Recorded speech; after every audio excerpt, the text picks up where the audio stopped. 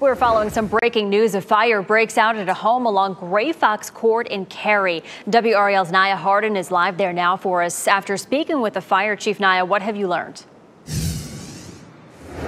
Well, in the last 30 minutes, we've learned that firefighters went inside this building, this home. They rushed inside and they were able to rescue a man from this home that was burning upstairs on the second floor. So what we're hearing is that when they arrived at 7 o'clock this morning, that's when they saw the upstairs two windows. They said they saw heavy flames coming from there. The crews, they rushed in, found that man upstairs.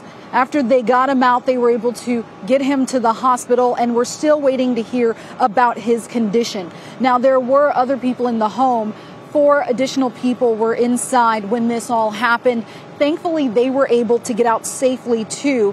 Investigators are now on the scene here, which is what you're looking at right now. You see uh, the fire truck still here. They've got this sectioned off to make sure no one crosses this area. And they're talking to people, trying to get more as to how this may have happened to figure out the cause. We're expecting to get an update from them later on today. When we do, we'll pass that along. Naya Harden, WRAL News in Cary.